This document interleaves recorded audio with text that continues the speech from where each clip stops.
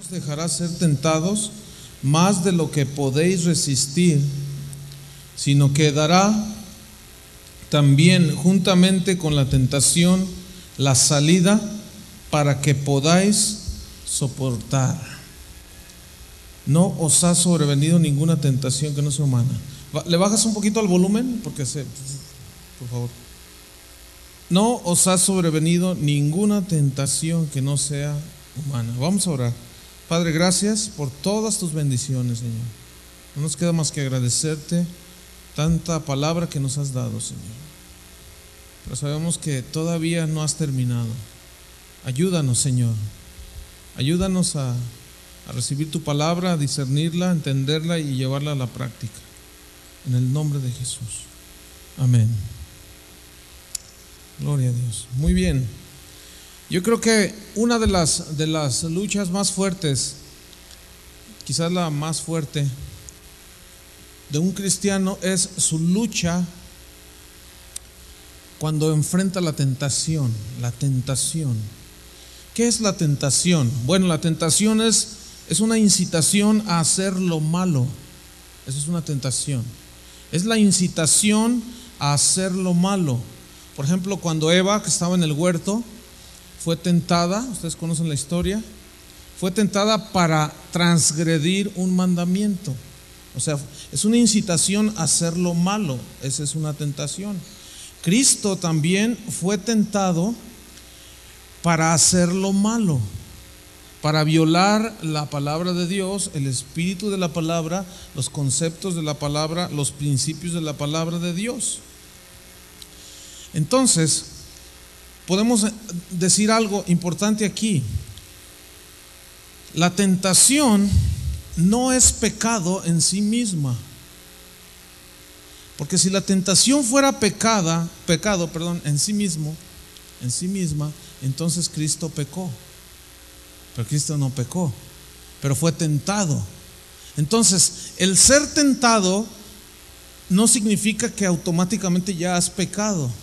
Muchos, muchos cristianos confundimos el hecho de ser tentado, está ahí la tentación y, tú la resistes y te mantienes. Pero aún así viene la condenación, porque sentiste que- que por el hecho de ser tentado, a lo mejor andas mal. No, no confundamos.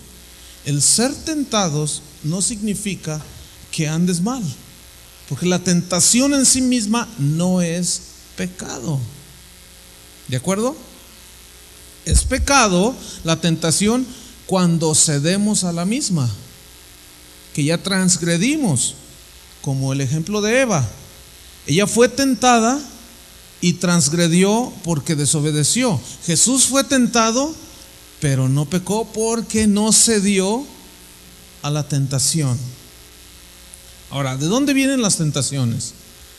Según la Biblia, hay dos fuentes que vienen de donde vienen las tentaciones como una incitación a hacer lo malo. A veces, a veces confundimos la prueba que, es, que viene de Dios, que a veces va mezclado también con el aprovechamiento del enemigo para meter una tentación.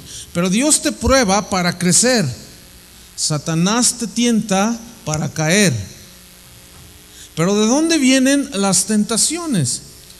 Bueno, hay, algunas razones, pero dos de ellas en Santiago capítulo 1, versículo 13. Santiago, si buscan conmigo, Santiago 1, versículo 13.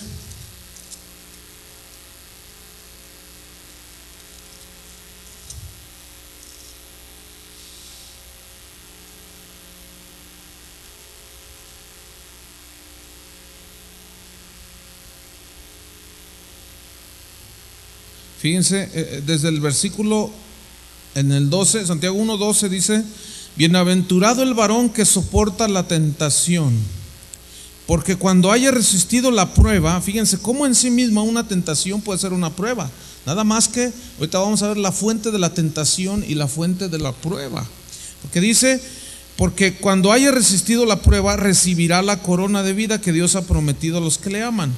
Cuando alguno es tentado, No diga que es tentado de parte de Dios, porque Dios no puede ser tentado por el mal, ni Él tienta a nadie.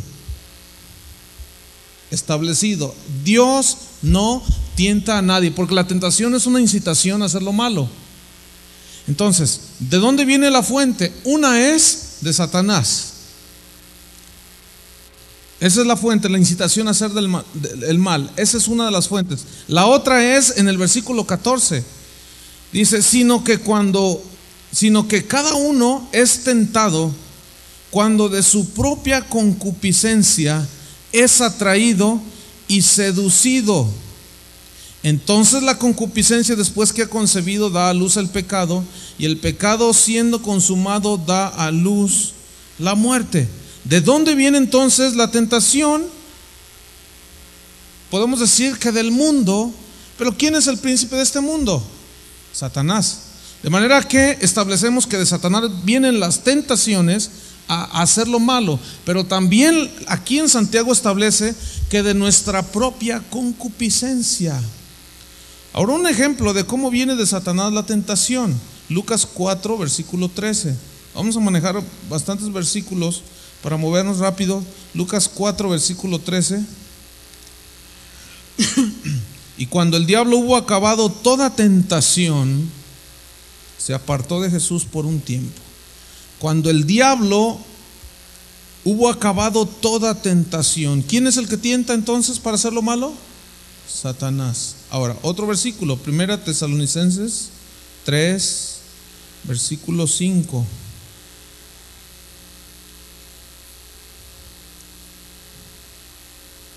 Primera Tesalonicenses 3, 5.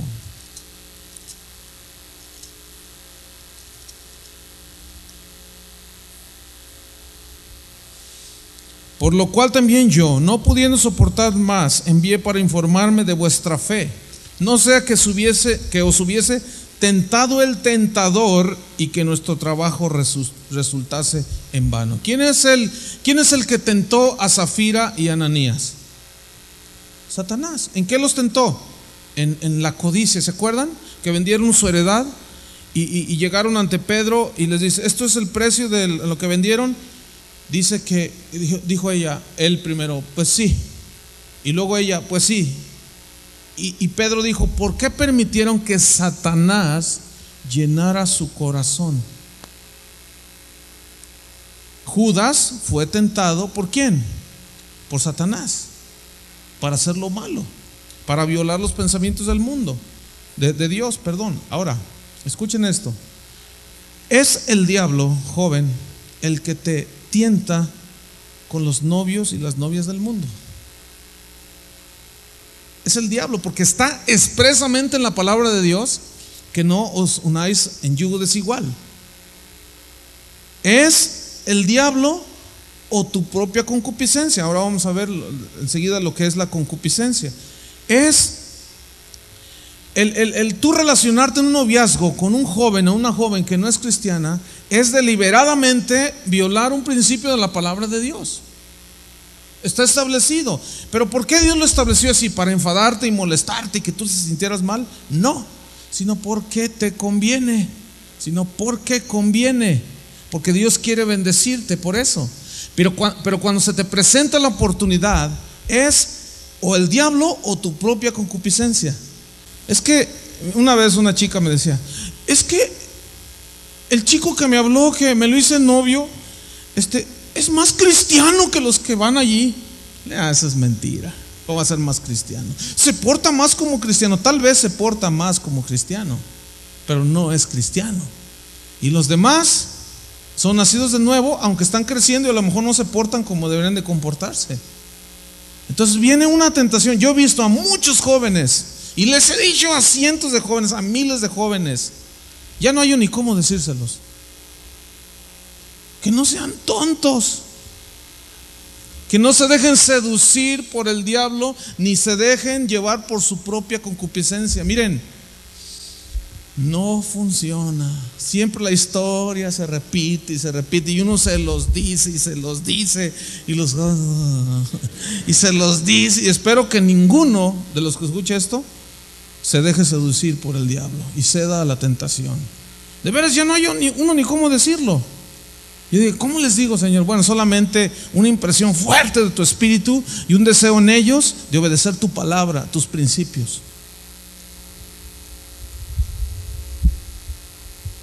Hay jóvenes que dicen, pero, pero es que nadie me habla en la congregación y me estoy quedando a vestir, santos, dicen. Así dicen en México. Yo me acuerdo que un día le dije a una joven que estaba así como desesperada, yo le dije, mira, dije, es mejor que te quedes a vestir santos que desvestir un demonio.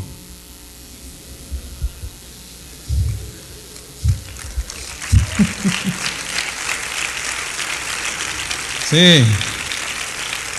Ahora, fíjense, en Santiago, donde leímos Santiago 1.13, fíjense cómo dice, habla de la concupiscencia, ya lo leímos. Dice, es sentado de su propia concupiscencia. Ahora, ¿qué es concupiscencia? Bueno, yo, yo tomé un diccionario y saqué esto. Concupiscencia es un deseo inmoderado de dos cosas. Es un deseo inmoderado, o sea que no, no, no, no va dentro de lo normal, sino es inmoderado. Eh, eh, rebasa totalmente el control. Un deseo inmoderado, número uno, de bienes terrenales. Eso es concupiscencia, fíjense. Un deseo inmoderado de tener bienes terrenales. Eso fue lo que le pasó a Judas porque Satanás le tentó su concupiscencia, su deseo inmoderado de tener riquezas. Fue lo mismo que pasó con Zafira y Ananías.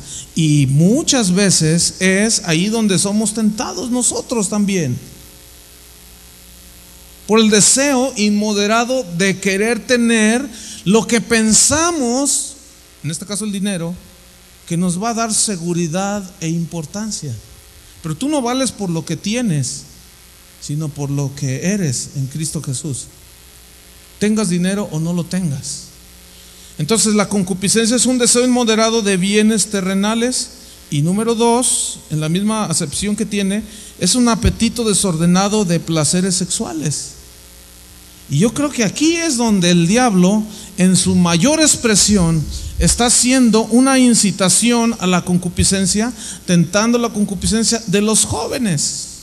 Fíjense, en la mañana mientras yo me venía, este, ahí tomando, bueno, ni me tomé el café, pero mientras estaba limpiando mis zapatos, prendí un poco la televisión para ver algo de noticias. Así en lo que en cinco minutos, pero estaba un programa aquí en Guatemala sobre la iniciación sexual en los jóvenes. Entonces me llamó la atención que estaban entrevistando a, muchos jovencitos, como ustedes, de 15, 16, 18 años. Y les preguntaban que si, que para ellos qué significaba eh, el inicio de las relaciones sexuales. Muchos decían, no, pues es que todo el mundo lo hace, no, pues este, es lo más normal y que no sé qué. O sea, unos conceptos tan terribles, pero hubo uno o dos jóvenes que decían, no, yo me voy a guardar porque la palabra de Dios dice, ah, y dije, ese es aleluya. Gloria a Dios, porque de alguna manera el joven cristiano ha de distinguirse. Y luego le preguntaron a un señor, ¿qué opina de que sus hijos se inicien de temprana edad en la, en la actividad sexual sin control? Y dice, pues muy malo, porque la palabra de Dios, y de alguna manera ahí está el testimonio cristiano, hermanos. Entonces, nosotros ya estamos aquí adentro, ya estamos aquí. Somos seres que Dios puso ese impulso sexual que es natural. Ah, conmigo vienen jóvenes a veces o gente dice, hermano, ore por mí para que el Señor me quite esos deseos. Le digo, pues, ah, por más que ore no te los va a quitar. Porque Dios te los puso, ¿cómo te los va a quitar? Lo que tienes que hacer es controlarlos. Ese es el asunto dominio propio. Porque Dios no te los va, no te los puso para luego quitarlos, no. Hemos confundido. No te los va a quitar. Lo que tú tienes que hacer es controlarlos. Ese es el asunto. Y ese es ahí donde muchos jóvenes y aún cristianos han perdido. Y su vida, mira, es bien triste. Y yo sé que tú conoces muchos casos. No necesito que te ponerte muchos ejemplos por la propia concupiscencia. Empiezan con la manita y el diablo dice, pues ándale que al cabo, pues, este, te casas en el Señor. quizás. Y se repite la historia y se repite la historia. Entonces, la concupiscencia es un deseo inmoderado de bienes terrenales y de apetito desordenado de placeres sexuales. ¿Se acuerdan del joven rico que vino ante Jesús? ¿Qué debo de hacer para dar vida eterna? Los mandamientos sabes y le da los mandamientos. Jesús le dice, haz esto. Eh, te falta una cosa, le dice. ¿Cuál? Vende todo lo que tienes y dalo a los pobres. Pero él se fue tal y como llegó. ¿Por qué? Porque tenía una concupiscencia en su vida de un deseo inmoderado de bienes materiales que lo inhabilitó para obedecer la palabra de Dios. Fíjate, la otra excepción de apetito desordenado de, desordenado de placeres sexuales, te repito, mira, Dios los puso allí. Es algo natural, forma parte de la naturaleza que Dios le puso al hombre. Pero estos van a ser incitados de muchas maneras por el mundo, por Satanás y de, la propia debilidad del ser humano. Y es ahí precisamente lo que nos tiene aquí aprender cómo eh, batallar con, eh, con, la tentación, cómo enfrentar y cómo sí podemos salir victoriosos de la batalla, de la tentación, de la prueba. Porque mira, así como un fuego es, puede ser mucha bendición. Por ejemplo, con el fuego calientas los alimentos, con el fuego puedes calentar el agua con el que te bañaste hoy en la mañana, si te bañaste. Este, con el fuego eh, se pueden hacer tantas cosas que son de bendición. Un fuego controlado. En sí mismo el fuego no es malo. Pero un fuego descontrolado puede quemar un bosque y una ciudad. Roma fue consumida por las llamas, por un fuego incontrolado. Entonces, eso, ese, ese deseo de todos de tener ciertas cosas aquí en la tierra, casa, vestido y, tener los, los satisfactores normales y casarse, son cosas en sí mismas, no tienen nada de malo, son naturales, son buenas. El problema es, ¿cuál es? Que pierdes el control. Ese es el problema, que pierdes el control. Y es cuando precisamente la tentación viene a incitar en mayor dimensión en esas dos áreas, fíjense, en esas dos áreas. Por ejemplo, ahí en 2 de Samuel, en el capítulo 11, vamos a ver, eh, aprendemos algo que a mí me impacta de la Biblia, hermanos, ¿saben qué es? Que, que, Dios eh, sacó a la luz los errores segunda de Samuel capítulo 11, sacó a la luz los errores de, sus mismos siervos para avergonzarlos, no, sino para que dice, como dijo Pablo, estas cosas se escribieron para nuestra enseñanza, para nuestra amonestación. Y vamos a ver un episodio en la vida del rey David, ese rey que era conforme al corazón de Dios, pero que tuvo un momento en su crecimiento, en su vida difícil por una caída que él tuvo precisamente al ser tentado y no saber dominar esos impulsos naturales y no saber controlarlos. Veamos algunos de los detalles en 2 de Samuel 11. ¿Ya lo tienen? Miren, dice, aconteció el versículo 1, aconteció el año siguiente, en el tiempo que salen los reyes a la guerra que David envió a Joab y con él a sus siervos y a todo Israel y destruyeron a los amonitas y sitiaron a Rabá. Pero David se quedó en Jerusalén. Aquí empezó. Dice aquí la Biblia que era tiempo de qué? De guerra, en que los reyes salen a la guerra. ¿Qué eres tú? ¿Que no eres un rey y un sacerdote? Pues estamos en tiempo de guerra. Es tiempo de guerra. Pero ¿qué sucedió? Él se quedó en Jerusalén. Ocio, ocio. Y el ocio, cuando no tienes nada que hacer, cuidado. Cuidado cuando no tienes nada que hacer. Ponte aunque sea, ah, no sé, pero haz algo. ¿Por qué? Porque el ocio precisamente es el, el estado ideal por medio del cual Satanás puede tentar tu propia concupiscencia. Y eres atraído y eres seducido y concibes y das y comete el pecado y das a luz la muerte y después es bien triste. Entonces dice que se quedó allí, en tiempo de la guerra él se quedó y fíjense cómo él comenzó su, su, problema. Sucedió un día, o sea que no fue un solo día, un día. ¿Cuántos días estuvo así? No dice. Pero uno de tantos, de que no hacía nada, que se quedó allí. Eh, Oye, ¿qué haces? Pues nada. ¿No estudias? No. ¿Y trabajas? Tampoco. Oye, tienes que hacer cualquiera de las dos cosas. ¿Cuántos estudian? Bajen la mano. ¿Cuántos trabajan? ¿Y los demás qué hacen? Hay que ponernos a barrer ahora en este momento, pues no, no sea que vayan. Tenemos que hacer algo en esta vida, algo productivo.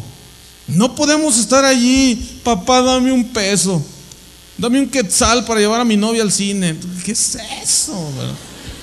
Bueno, yo sé que con un quetzal no, no compro ni un caramelo, ¿no? Yo lo sé. Pero no es posible, porque la ociosidad, uh, Sucedió un día al caer la tarde, y ahí andaba el rey, que se levantó David de su... ¿De dónde? O sea, ¿qué estaba haciendo? Nada. Uh, y se paseaba sobre el terrado de la casa real. Se paseó. Y fíjate, y vio desde el terrado a una mujer que se estaba bañando, la cual era muy hermosa. Fíjate, que involucra muchas cosas. Vio, vio, la vista, la vista. ¿Qué sucedió con, el fruto que la serpiente le presentó a Eva? Dice que vio y que era de delicia al paladar. Vio, vio. ¿Por dónde entra todo? La ventana del alma son los ojos. ¿Por dónde entra? ¿Qué estamos viendo? ¿Qué estás viendo? Yo me acuerdo una vez un joven que me dice, hermano, tengo muchos problemas. Es que, es que fíjate que yo tengo problemas de masturbación y es que esto y no sé qué hacer. Y, estaba ahí bien acongojado el joven. Entonces yo iba a empezar a, hablarle y el Espíritu Santo me dijo, él lee revistas pornográficas. Yo le dije, oye, tú lees revistas pornográficas, ¿verdad? Me dice, eh, se me queda mirando así, ¿verdad? Le digo, tú lees revistas pornográficas, ¿verdad? Y dice, ¿quién te dijo, hermano? Le dije, el Espíritu Santo fue el que me dijo. Pues sí, es que, le digo, ahí está. Si tú, por más que yo ore y consejos que te dé, puedes vencer una semana, pero luego ahí vas otra vez. Y eso ha dañado tu corazón, ha dañado tu mente, tu espíritu, porque aunque sea lee Memín Pingüín, pero deja esas cosas. Bueno, no sé si en sus tiempos leían esa caricatura de un negrito muy simpático. Memín Pingüín. Pero fíjense cómo dice, vio desde el terrado a una mujer. O sea, vio la vista. ¿Sí? ¿Dónde pones tus ojos? ¿Dónde ponemos nuestros ojos? Vio. Ahora fíjense qué, qué, cosa hay aquí. Dice, a una mujer que se estaba bañando. O sea, a una mujer prudente, ¿cómo se le ocurre estarse bañando sin cerrar la ventana? O estarse bañando en un lugar donde donde los ojos de los demás pueden mirar. Jóvenes a las mujeres, sean prudentes. A mí, yo, yo, yo no me considero un predicador de tendedero. O sea, de que ponte, quítate y eso, tal ropa. Yo no soy predicador de tendedero, no me considero así. Pero sí alguien que dice lo que la Biblia dice en cuanto a la prudencia y al decoro. Sí, la Biblia sí lo enseña, ¿cierto o no? Entonces, Sí puede haber cierta influencia por la manera en que se viste la joven o el joven. ¿Por qué? Pues los hermanitos pues, tienen su corazoncito y tienen sus muchas emociones. Entonces, pues es normal que si hay algo que no es decoroso, pues este, están con una mano alabando a Dios y con otra están mirando así como que, que está, es un poco difícil, esa es la verdad. Entonces tampoco nosotros dar lugar hay que ser prudentes. Y también los varones. ¿Los han visto esos que se abrochan todos los botones de aquí? así como, este, no sé qué, qué impresión quieran dar, pero son cosas que, que no van de acuerdo con el pudor, ¿sí? Y nadie se asuste porque de lo que estamos diciendo, porque son cosas que se dan. Y ahora, hay una cosa aquí, esta mujer era del pueblo de Israel, que conocía la ley. Porque dice que después David envió a preguntar por aquella mujer, le dijeron, aquella es Betsabé, hija de Elías, mujer de Urías Eteo. Le dijeron todo y aún así dice, y envió David mensajeros y la tomó y vino a él. Y, y, él durmió con ella. Luego ella se purificó de su inmundicia y se volvió a su casa. O sea, ella nunca dijo, pero la palabra del Señor dice esto. Jamás dijo. El rey la mandó día y dijo, ay, pues sí, ay, el rey. Oh, ah. y miren, muchos, muchos, eh, muchos jóvenes son seducidos y caen muy fácilmente en la tentación por estas circunstancias que se presentan en sus vidas. Miren, les voy a comentar cómo dentro de la misma, aquí he estado dentro del mismo pueblo de Dios, y dentro de la misma iglesia pueden suceder cosas vergonzosas. Por eso necesitamos cuidarnos, hermanos. Nuestros ojos, nuestro corazón. En una ocasión, en, una ciudad, eh, estábamos en, México, en una congregación, y yo estaba compartiendo. Al final se acerca una, una mujer de la congregación, hermano, quiero hablar con usted. Le digo, sí, cómo no. Y me empieza a decir una serie de cosas que yo dije, mmm, y, pero ahí estaba mi esposa. Entonces le dije, espérame un momento. O sea, me empecé a decir cosas, este, insinuaciones. Entonces yo le dije, espérame aquí, no te vayas. Y que voy por mi esposa y que la agarro. Y le digo, ¿me puedes repetir lo que me estabas diciendo hace un momento? Este, eh, pues que la palabra estuvo muy linda. No, no, no, eso no fue lo que me estabas diciendo. Me estabas diciendo, este, eh, este, ya me voy, ya me voy. Y mira, ya no había dónde meter la cara. Esa fue una manera en la que yo pude resistir que la tentación. ¿Entienden? Bueno, ustedes dirán, bueno, yo no soy casado. Pero hay muchas maneras de resistir la tentación. Ahora, yo les pongo ese ejemplo para que vean que dentro, dentro de, la misma congregación, entre los mismos hermanos, hay mucha, entre nosotros mismos hay mucha concupiscencia, pasiones desordenadas que hunden a muchos en perdición. Nos hunden. Yo creo, hace rato estábamos en un, en un taller de cómo ser líder. Y, este, cuando dijo el pastor, este, ¿cuántos quieren ser líderes? Muchos de los jóvenes, amén, ¿verdad? Y estábamos Marcos Witt y yo sentados juntos.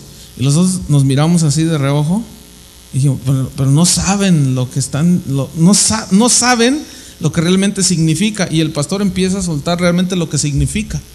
Entonces, es una responsabilidad tremenda. Pero dentro de todas esas, todo, todo, todo, todo, todo mundo es tentado. Todos somos tentados, fíjense.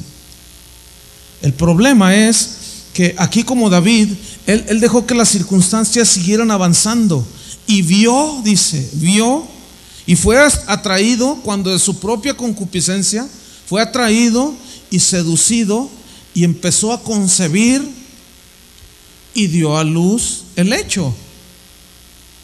Mira, muchas veces en nuestra mente entran los pensamientos. ¿A cuántos les ha pasado que están orando así, están en la presencia del Señor y de repente les viene un pensamiento de esos terribles? ¿A cuántos les ha pasado? A mí me pasa. Y, seguido. O sea, que es, el alma, la mente del ser humano es, es, precisamente donde, donde Satanás le gusta trabajar. Y luego nos acongojamos y decimos, ¿por qué estoy pensando eso? ¿Por qué aquello? ¿Por qué? Porque el enemigo se vale de muchas cosas. Pero repito, el ser tentado no significa necesariamente no es pecado ser tentado. El pecado es ceder a la tentación. Ahora, David aquí tuvo ese episodio negro en su vida que, que vino eh, a desencadenar en un homicidio. Él estaba tan, cuando la tomó y ella concibió, él estaba tan enseguecido con, con el pecado que ya no lo dejó mirar a su alrededor y, y menos a Dios. De manera que Dios tuvo que decirle al profeta, mira, ve y dile, y eso es más vergonzoso todavía, cuando, cuando Dios lo saca por medio de otra persona. Dijo, ve y dile esto, y ahí va el profeta, ¿verdad? Como que se imaginan el profeta a lo mejor pensando, es el rey, yo qué le voy a decir, este, pero al fin llegó y le, empieza a contar así suavemente una parábola. Fíjate que había un hombre así, si ustedes conocen la historia, ¿no? Y, tenía muchos ah, eh, ovejitas, pero llegó uno que lo visitó y, en lugar de tomar una de las que tantas que tenía, este, fue y le quitó a uno que tenía nada más una y, que sale el celo de David.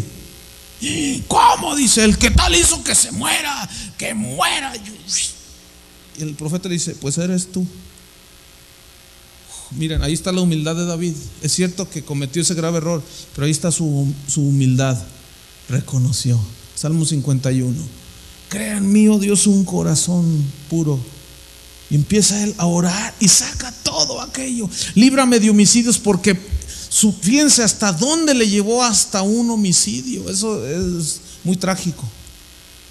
Pero hasta que no Dios sacó a la luz. Pero aquí se descuidó. Fíjense una vez, yo estuve, estaba en una reunión de liderazgo hace muchos años y sucedió algo que, ay hermanos, les voy a contar. Estábamos allí todos, ¿verdad? Y estaba un, predicador eh, hablando la palabra de Dios, pero resulta que este predicador es un profeta también. Y él estaba predicando y a media predicación que dice, tú varón que estás ahí, entonces todos los que están le hacen yo, yo, así pasan, ¿no? Yo, yo, no, tú no, el que está ahí, eh. yo, sí, sí, tú. Ponte de pie, ¿es tu esposa la que está a un lado? Sí, dice él, vengan los dos. Y vienen ahí caminando. Y Ay, les va a profetizar, ¿verdad? Y lo sienta están dos sillas y lo sienta aquí enfrente de la congregación. Yo jamás he visto una cosa así. Lo sentó ahí y le dice, enfrente de tu esposa, el Señor te dice, tú estás en adulterio y si no te arrepientes, te mueres.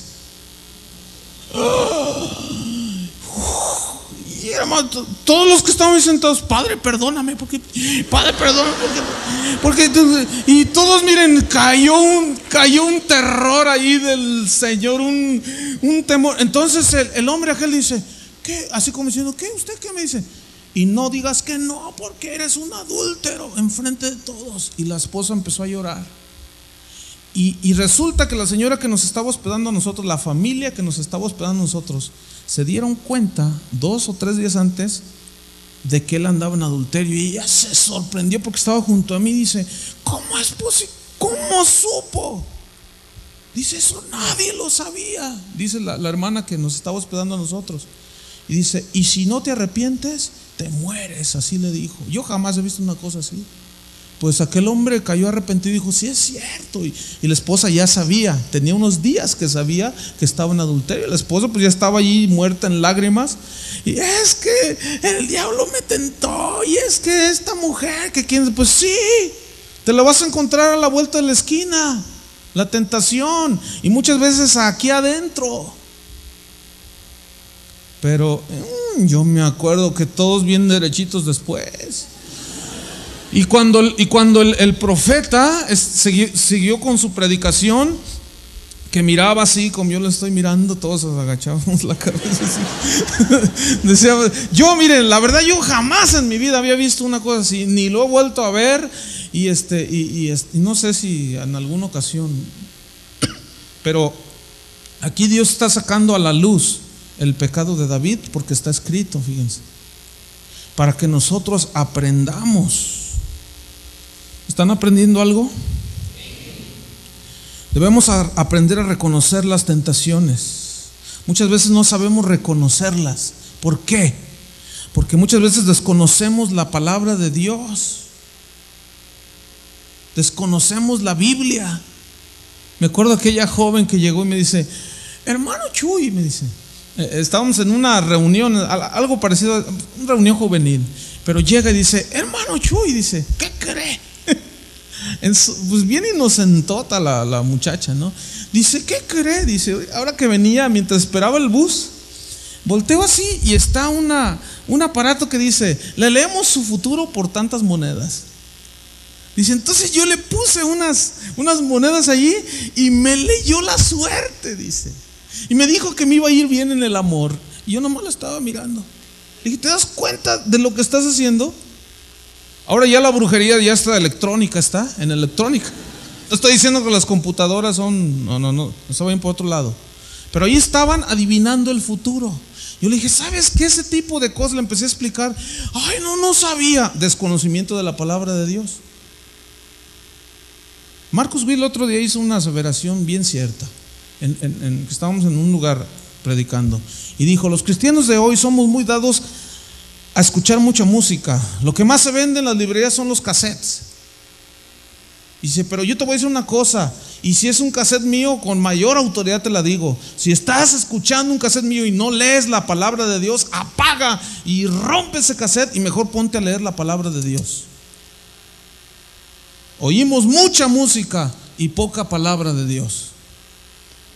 La desconocemos. Entonces, ¿por qué? ¿Por, ¿por qué entonces el joven o los cristianos caemos tan fácil muchas veces porque desconocemos la palabra de Dios. A veces la conocemos, conocemos suficiente, pero nuestra propia concupiscencia y el engaño y todo ese asunto que se va formando a nuestro alrededor, si no lo sabemos discernir bien, cedemos a la tentación y después es un dolor y es una cosa terrible. Necesitamos aprender a reconocer la tentación, porque Recuérdate la definición que dimos al principio. Es una incitación a hacer lo malo, a violar los principios de Dios. Satanás viene y te dice, ¿qué tiene de malo? Ándale, este, hazlo, que al cabo todos lo hacen. Pero ¿cómo, cómo yo puedo vencer las tentaciones? ¿Cómo puedo yo enfrentarme y, y vencerlas cuando éstas se presenten? Necesitas aprender a decirle no a la tentación. A ver, ¿cuántos tienen la capacidad intelectual de decir no? Díganlo. Ah, muy poquitos. A ver, otros más. Este, ¿Cuántos tienen la capacidad de decir no? ¿No qué? Miren, hay, unas historias en la Biblia que yo quiero mencionar. Eh, en Génesis 39, me gusta mucho este, la vida de, un joven, Génesis 39, de un joven que, uy, podemos aprender mucho de él. Se llamaba José. Génesis 39, versículo 1. Dice, llevado pues José a Egipto, Potifar, oficial de Faraón, capitán de la guardia, varón egipcio lo compró de los ismaelitas que lo habían llevado allá. Mas Jehová estaba con José. ¿Dios está contigo? Sí. Pues también con José, fíjate. Y dice que fue un varón próspero y estaba en la, en la casa de su amo, el egipcio. Y vio su amo que Jehová estaba con él y todo lo que él hacía. Jehová lo, lo hacía prosperar en su mano Así halló José gracia en sus ojos y le servía y le hizo mayordomo de su casa y entregó en su poder todo lo que tenía. Y aconteció que desde cuando le dio el encargo de su casa y de todo lo que tenía, Jehová bendijo la casa del egipcio a causa de José. Y la bendición de Jehová estaba sobre todo lo que tenía, así en casa como en el campo. ¿Cuántos quieren ser bendición? Donde quiera que se paren, ser una bendición. Así dice la Biblia, que tú serás, le dijo Dios a Abraham, serás bendición a donde quiera que vayas. Y es una promesa para nosotros. Y José, aquí se ve en José, una bendición donde quiera que él ponía su mano, donde quiera que él se paraba, era una bendición. Dios estaba con él. Dios eh, tenía el favor y la gracia de Dios, de su amo. Pero de repente cuando todo iba viento en popa y estaba en plena comunión con Dios y la mano de Dios era sobre él, vino lo que también viene sobre ti y sobre mí. Dice en el versículo número 6, y dejó todo lo que tenía en mano de José y con él no se preocupaba de cosa alguna sino del pan que comía. Y era José de hermoso semblante y bella presencia. O sea que estaba guapetón el muchacho. O no sé cómo dicen por acá. ¿Guapo? ¿Sí dicen? Este, en México dicen carita. O, linda la chica.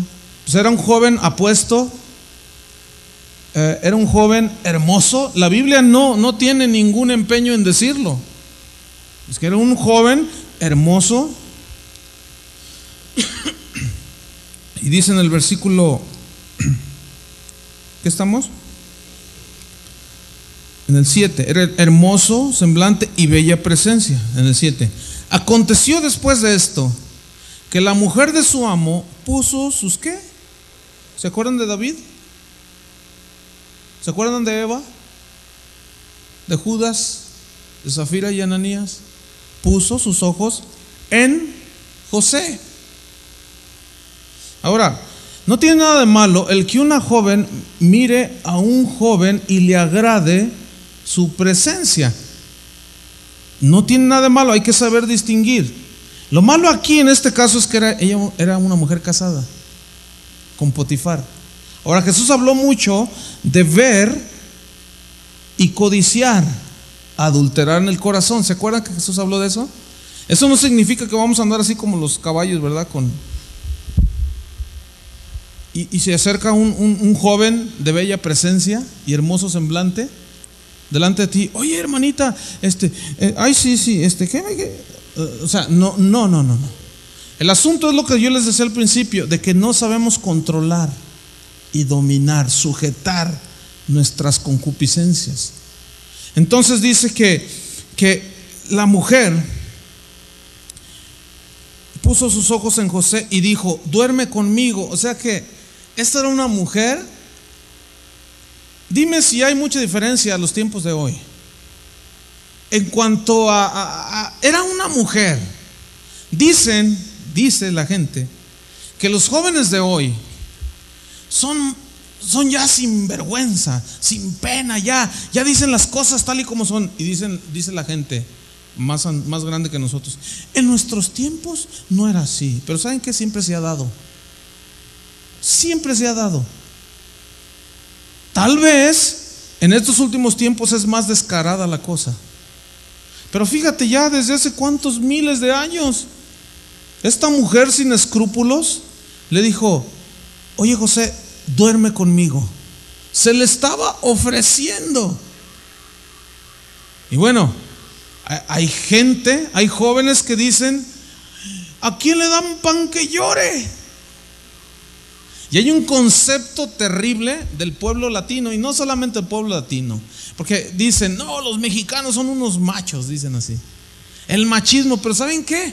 Yo me he encontrado con otros pueblos y otras culturas que son mucho más machistas que la mexicana. Y yo he llegado a una conclusión, no es cuestión de machista o machismo de tal pueblo, es un, una característica del ser humano, sean alemanes, sean holandeses, americanos, guatemaltecos o mexicanos. Eso es algo de la concupiscencia del ser humano. Entonces dice que ella se le ofreció, fíjense.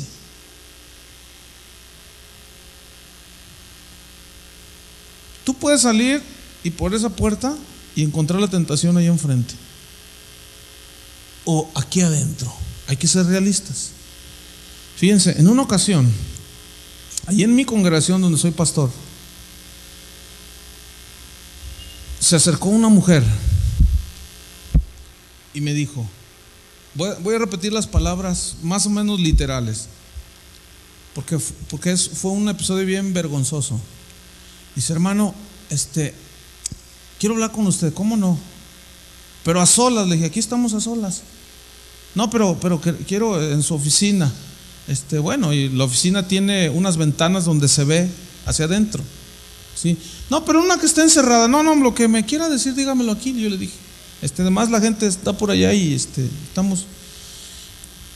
¿Y qué creen que me dijo? Exactamente lo que esta mujer le dijo a José. ¿Y saben qué hice? Inmediatamente hice lo mismo. Por eso me gusta andar mucho con mi esposa. Porque, porque donde quiera puede saltar, de veras, es en serio. Donde quiera puede saltar todo esto.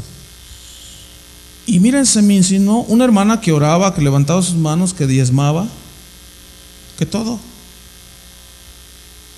Una mujer viuda, con necesidades, joven, hermosa. Mm.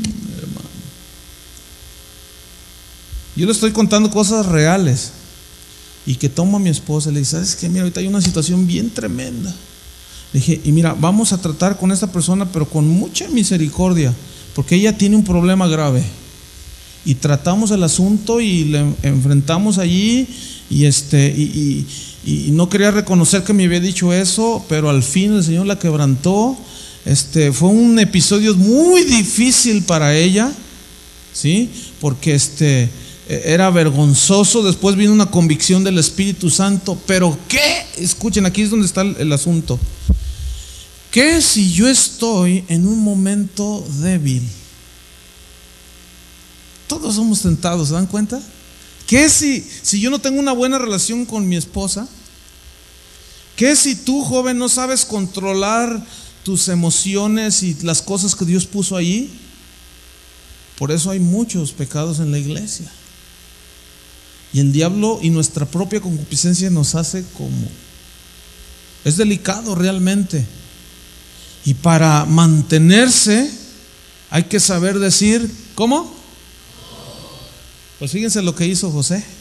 Ahora quiero decirles, esta hermana sigue existiendo en la congregación, pero está restaurada. Está restaurada con paciencia, amor y disciplina. Y ella lo ha recibido y es una mujer que estamos orando para que Dios le dé su varón, pero ella está ahora controlando sus impulsos.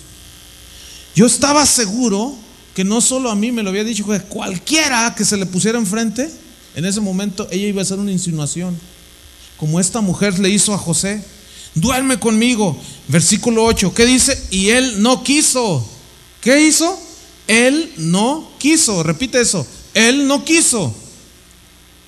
Es que era insoportable, es que no, no hay ninguna tentación que no puedas aguantar, dice la Biblia. Es que, es que no, no, no, no, no. Es que él no quiso. ¿Tú quieres o no quieres? David quiso. Ejerció su voluntad. Eva quiso. Judas quiso. Entonces dice, y él no quiso y dijo a la mujer de su amo, he aquí que mi Señor no se preocupa conmigo de lo que hay en casa y ha puesto en mi mano todo lo que tiene. No hay otro mayor que yo en esta casa y ninguna cosa me ha reservado, sino a ti, por cuanto eres su mujer. ¿Cómo pues haría yo este grande mal y pecaría contra Dios? Fíjate el temor que Dios, de Dios que tenía este José. Y el temor de Dios debe estar presente en nuestras vidas antes de hacer algo, de lo cual después nos duela con lágrimas, no tengamos que arrepentir. El temor de Dios. Él no quiso. ¿Cómo yo haría este grande mal? Subraya eso en tu Biblia de todos colores. Grande mal. Grande mal. Y pecaría contra Dios. Y, habla, y fíjate cómo es la tentación. Hablando ella a José, ¿cuándo? Cada día.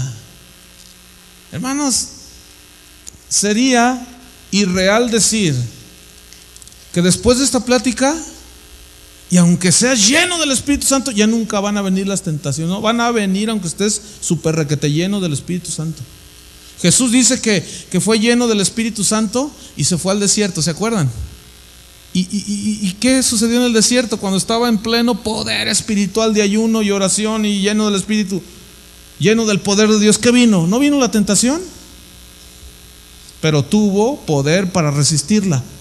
Esa es la diferencia. Tuvo autoridad, dominio de sí mismo, en sí mismo, para resistir con el poder del Espíritu Santo. Entonces dice que cada día ella le decía, y no escuchándola él, para acostarse al lado de ella, para estar con ella. Aconteció que entró él un día en casa para hacer su oficio. O sea, era un hombre íntegro, bueno, impresionante su vida, un joven como tú, para hacer su trabajo de cada día. Y no había nadie de los de casa allí, y ella de pronto entró, dice en el 12, y lo asió por su ropa, diciendo, duerme conmigo. Entonces él dejó su ropa en las manos de ella y huyó y salió. Pablo dice en 1 Corintios, huid de la fornicación. Más vale que digan, aquí corrió que aquí quedó. Más vale que diga, aquí corrió que aquí quedó. La dejó, la dejó con su túnica en las manos. Y a lo mejor ella le gritaba, poco hombre, haciendo, tratando de, de incitar la hombría. Pero ¿qué es ser hombre? ¿Qué es ser un hombre? ¿Qué es ser una mujer? Fíjense, en una, ocasión leí una declaración de un artista muy famoso que su fama es más porque desde que se casó con su esposa hace, no sé, 30 años, sigue con la misma esposa. Y le preguntaron, le dijeron, bueno, ¿cuál es, cuál es este, eh, su, secreto de por qué ha, durado tanto con su esposa en el ambiente artístico de Hollywood. ¿Cómo es que usted llega a, tantos años de, de, casado con la misma mujer y sin rumores de que usted ande con otra mujer? Y él contesta, bueno, es que ser hombre es satisfacer a una mujer por toda tu vida, amarla y quererla. Dice, ser hombre no es andar de mujer en mujer. Cualquier perro hace eso. Alguien que ni sabe de la Biblia, pero que tiene un principio fundamental para el funcionamiento en su matrimonio. Y ustedes todos son solteros, que un día se van a casar. Y que ya desde ahora muchos, desde que te convertís, tal vez tentado en una manera más fuerte. ¿Qué hizo José? Dijo, no. Tienes que aprender a decir, no. Eva dijo, sí. José dijo, no. Jesús dijo, no. Judas dijo, sí. ¿Qué vas a decir tú? No lo dices con mucha convicción. ¿Qué vas a decir tú? No. Cuando lleguen tus amigos y te inviten a la disco, ¿qué vas a decir? No. Cuando lleguen tus amigos y te digan, mira, fúmale la, la marihuana, ¿qué vas a decir? Cuando llegue una chica y se te insinúe, ¿qué le vas a decir? Pastor, no lo están creyendo. Lo dijeron así como, Tengo cinco minutos. ¿Cómo puedo resistir la tentación? Santiago 4:7. ¿Cómo puedo batallar? Someteos pues a Dios, resistid al diablo y qué? Huirá de vosotros. Someteos pues a Dios. Dios determina también su palabra. Sométete entonces a Dios, haz lo que Él te dice. Resiste al diablo en base a esa autoridad que te da el sometimiento y huirá de ti. Sométete a su palabra. Dice la palabra no ser tan solo oidores, sino que hacedores. Y por último, usa la palabra como un arma de dos filos, la espada del Espíritu. Cristo la usó. Terminamos leyendo Mateo 4. Este es el arma más, más fuerte que hay. La palabra. Mateo 4. Versículo 1. Entonces Jesús fue llevado por el Espíritu al desierto para ser tentado por el diablo. Ahí está. Y si él, por lo que padeció, aprendió, también nosotros. Versículo 2. Después de haber ayunado 40 días y 40 noches, fíjate, en el mismo ejercicio espiritual tuvo hambre. Era natural. Después de 40 días, sin comer, era natural. Pero fíjense cómo lo natural no lo dejó llevarle a, esto que vamos a leer. Y vino a él el tentador y le dijo, si eres hijo de Dios, di que estas piedras se conviertan en pan. Se estaba aprovechando de la debilidad que en ese momento Jesús tenía por algo natural, que era comer. di que estas piedras se conviertan en pan. Fíjense cómo Jesús saca la espada de la palabra. Él respondió y dijo, escrito está. ¿Qué le vas a decir al diablo? Escrito está. Escrito está. No solo de pan vivirá el hombre, sino de toda palabra que sale de la boca de Dios. Jesús no iba a hacer una exhibición de conversión de, de piedras en pan. Él no era ningún exhibicionista. Él era el Hijo de Dios y él no iba a, a, dejarse motivar su orgullo y decir, pues sí, yo soy el Hijo de Dios. Tengo hambre y ¿qué me hace falta? A ver, bocina, conviértete en una rica torta. Porque eso sería un exhibicionismo sin sentido, egoísta.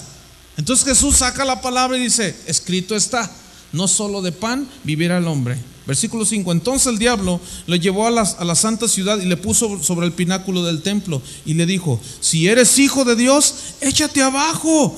Y con la misma palabra, eso es lo tremendo de Satanás en estos últimos tiempos, con la misma palabra engañó a David Koresh en, Dallas o en, en Estados Unidos, en Waco, y arrastró a mucha gente con la misma interpretación, con la misma palabra el diablo le dio. Por eso tenemos que conocer la palabra, hermanos. Amén.